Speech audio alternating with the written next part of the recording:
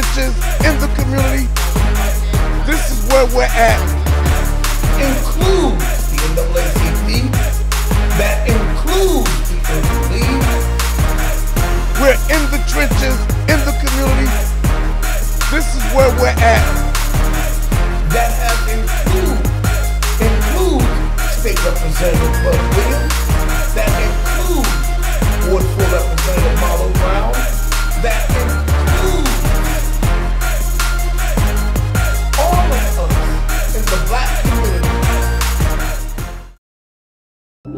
Greetings, everyone. First and foremost, as always, I give honor, praise, and glory to my God, who is represented by my Lord and Savior Jesus Christ. And I hope and pray that everyone has had a blessed day and a prosperous Juneteenth celebration. Um, before I begin, you know, I was just thinking about Juneteenth and all that it stands for. when we talk about Galveston, Texas, and what happened, um, our ancestors were fighting a war for freedom, justice, and equality. And in the midst of their still fighting, the troops came in to tell them the good news that they had been free by President Abraham Lincoln with the famous Emancipation Proclamation. And our ancestors, they stopped fighting. They stopped fighting because they believed the great lie.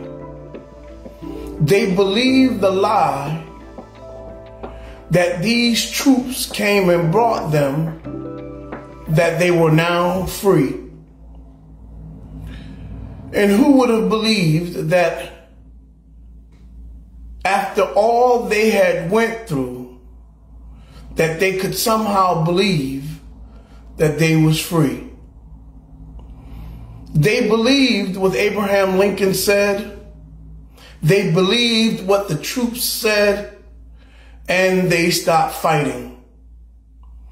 And so we must be very careful of what we believe when we hear it,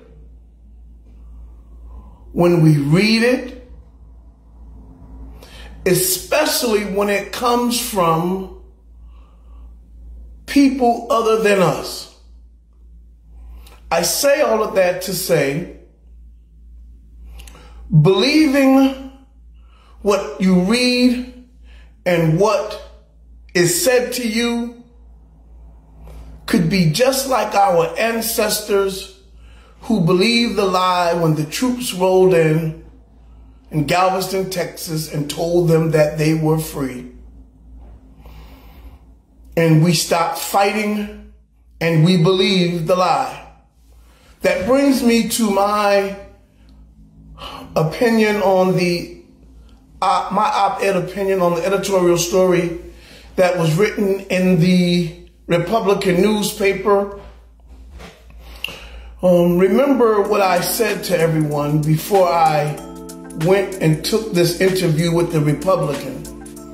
I told everyone that I was not naive enough to think that they were calling me in to be a ally to my campaign.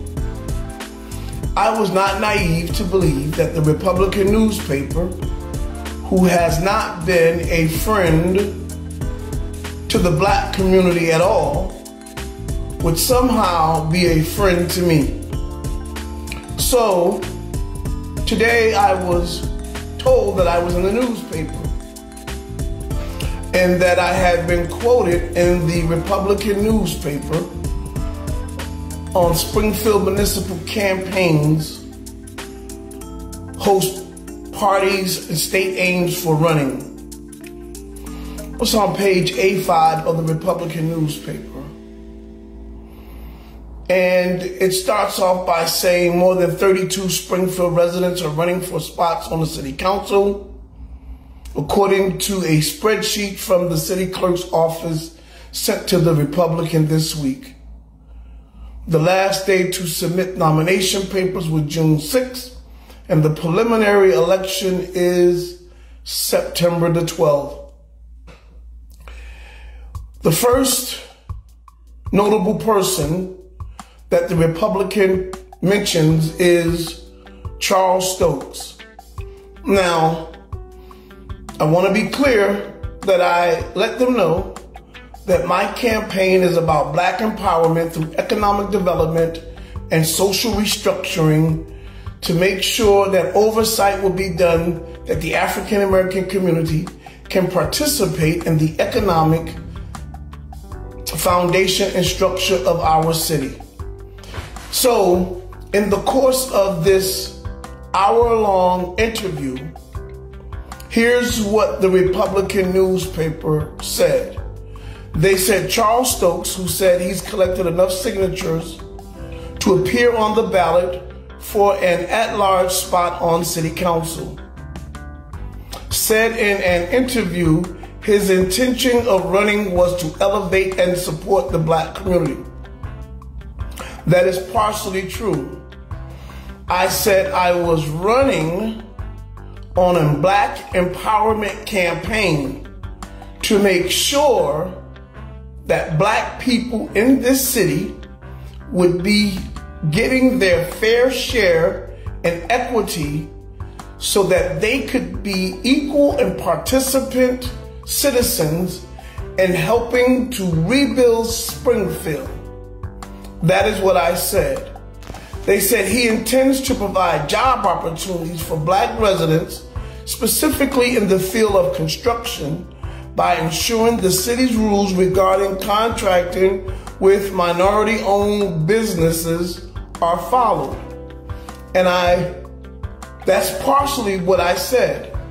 I said I intend to do oversight if elected to the city council to make sure ordinances are being fulfilled when it comes to minority contracting and the equitable amount of African black people working on those job sites. Uh, because let's be clear, Springfield has a uh, Build Back Better Springfield. And I said that I would like for Timothy Sheehan, and the rest of them who are on these oversight committees to make sure that the rules and regulations and the ordinance are being followed to the best of their ability, to what the spirit of the ordinance was designed to do. For the spirit, the spirit of that ordinance has not lived up to what it should be when you look up and down State Street, the uh, State Street quarter, when you look at the Worthington Street quarter, the Chestnut Street quarter, um, there are not or hardly any that I have saw of black people working on those job sites. And I tend to do what I would be elected to do is to do oversight to make sure that the ordinance are being followed, to make sure that the city council knows these things so that we just don't check off and we make sure that all of the requirements are fulfilled. And as we're having this conversation, the, uh, Jonah Snowden asked me a question.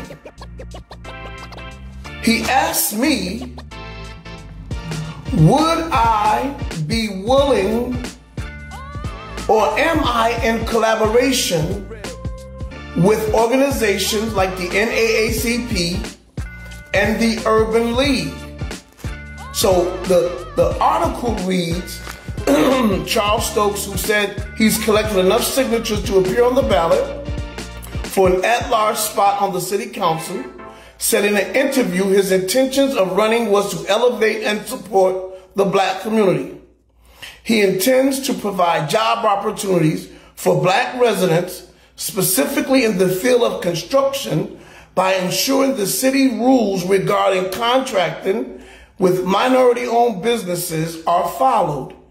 And I said to make sure that when those construction contracts are given out by the Fontaine brothers, Palmer con- con- concrete contractors, and all of those white institutions, businesses that are getting these contracts, that they follow the ordinance and make sure that African Americans are on those job sites. So then a question was asked to me. The question was asked, which community organizations would he work with? Jonah Snowden asked me, would I be working with the Urban League of Springfield and the NAACP? The article says I took a long pause, which I did. I took a long pause.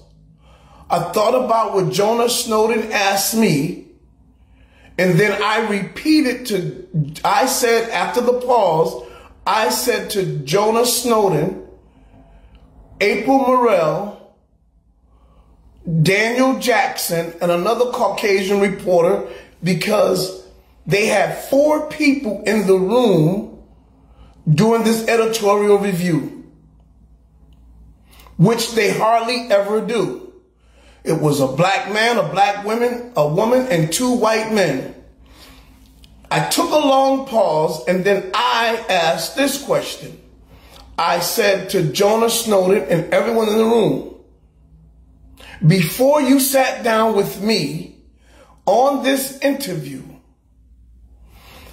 have you heard of anyone talking about a black empowerment campaign that was going to be dealing with contracting and construction work in this city? He answered no. Then I said to the question he asked me, would I be working with the NAACP and or the Urban League? I said, why would I work with those groups when they have shown no interest in what I'm talking about. I never mentioned the NAACP. I never mentioned the Urban League. They mentioned it. I paused and then I answered with my response before I sat down in this room with you to talk about black empowerment for black residents in the city of Springfield, had they ever talked to or heard any candidate talk about a black empowerment campaign. But in this article here, they make it seem like I brought it up. They make it seem because they then go on to say organizations in the city such as the Urban League of Springfield and the NAACP have dropped the ball tremendously. I never said that. I never said that the NAACP or the Urban League dropped the ball tremendously. Now, what I said was, now this whole interview was taped, and I asked everybody, before you believe what the Republican says, you ask them to play the whole interview.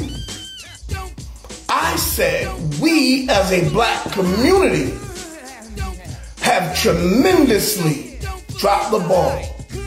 That includes the NAACP, that includes the Urban League, that has include includes State Representative Bud Williams, that includes Ward 4 Representative Malo Brown, that includes includes all of us in the black community. And these facts that I'm stating are evidenced by lack of job opportunities for the black community on these construction sites. This evidence that we as a whole black community have dropped the ball when we have gun violence rapidly going on in our community, when we have opioid addiction running rapidly in our community, as we have allowed our community to fall by the wayside. So, although I never said the NAACP or the Urban League by themselves has dropped the ball, I said we all have. Now, let me state clearly for those of you who know me, for those of you who have been following me, for those of you who have heard me speak on my Facebook Live, if I say something, I stand by what I say. If I have something to articulate about a state representative, about an organization, about a city councilor, even if I state something about myself, I stand by what I say. What I won't tolerate is words being put in my mouth. And I believe that the Republican newspaper put words in my mouth when they said now you can read the article. It's in today's Republican newspaper. It's on A5 of the newspaper. I am stating clearly that I never said that the NAACP dropped the ball or the Urban League dropped the ball tremendously by themselves. And before anyone goes out and believes the lie, just like our ancestors believed the lie when the troops came into Galveston, Texas and said they were free and they stopped fighting because they believed the lie. If we believe what the Republican says, after we all know in our community that the Republican newspaper has never been a friend of the black community. And it is their job to bring animus between those of us in the black community have opposing views on the black community. So I want that to be clear. I, if they tell you everything I said, if they allow the recording to be played because the interview was taped, they, Jonah Snowden, asked me a question. I paused and answered the question again. I want to be clear. Those organizations that you mentioned, have you ever heard them talking about what I'm talking about now? Black empowerment through economic development with jobs and contracts going to the minority, the, the African community, African American community, they said no. My response was then, why would I work with someone who, or groups who are not interested in a black empowerment campaign, specifically talking and using the language I use on this campaign that I'm running for city council. And I made it clear to the Republican newspaper that when Tim Allen, Kateri Walsh, and Michael Flynn, I think that's his name, when they meet with their constituents, they meet with Caucasian people. I said when the Latino community meets, they meet and they speak for what the Latino community can offer. The Asian community, when they meet, they meet with the sole purpose on seeing how can their community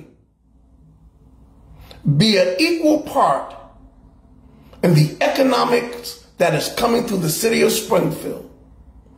I made it clear that my campaign is a campaign that's focused on how the black people here in the city of Springfield get equity, not equality, but how can we get equity in jobs on construction sites and con black contracting? How can we get that ARPA money that went for the outside dining? He, they, they doesn't talk about that in totality. When Brett, when, when Jonah Snowden asked me that question, I never ever brought up the NAACP. I never ever brought up the Urban League. Jonah Snowden asked me in my campaign, and the article reads, this is what the article says. I'm going to read it again because I got some new viewers. Uh, the Springfield Republican newspaper did an article about the candidates running for city council. They called me. I went before the editorial board. Usually, the editorial board is with the city council person that's running or one that's already elected and is rerunning again. However, in my case, I have four people in the room.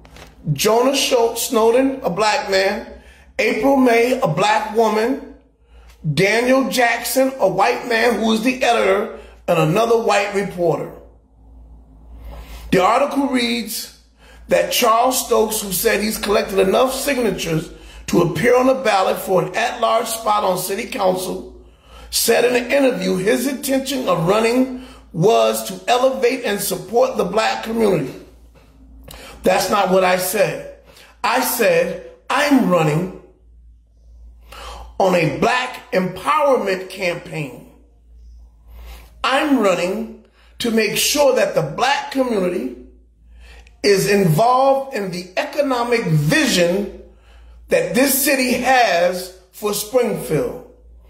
And that if I'm elected to city council, I will do oversight to make sure that Tim Sheehan, who is over the economic planning and development, make sure that black minority contractors are receiving the same treatment that the Fontaine Brothers, Palmer Concrete, and other contractors are receiving.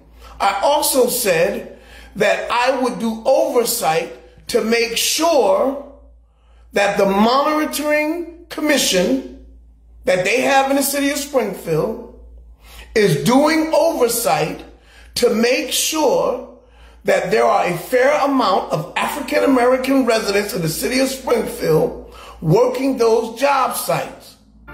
Because we don't know that there are monitoring commission that watches the job site to make sure that there's black people, veterans, Asians, and minorities. And that it's supposed to be documented on paper in a computer that these contractors who are receiving multi-million dollar contracts have the right amount of black people, veterans, and everything. And when we look up and down the, the State Street quarter, all of these construction sites that's taking place, black people are not on those job sites. That's what I said. Jonah Snowden, Brett Snowden's nephew, then asked me a question. He said, Would I attend to work with organizations in the city, such as the Urban League of Springfield and the NAACP? It says, Stokes took a long pause. When they asked me that question, I took a long pause. I didn't say nothing. I thought about what my response was going to be. And I said,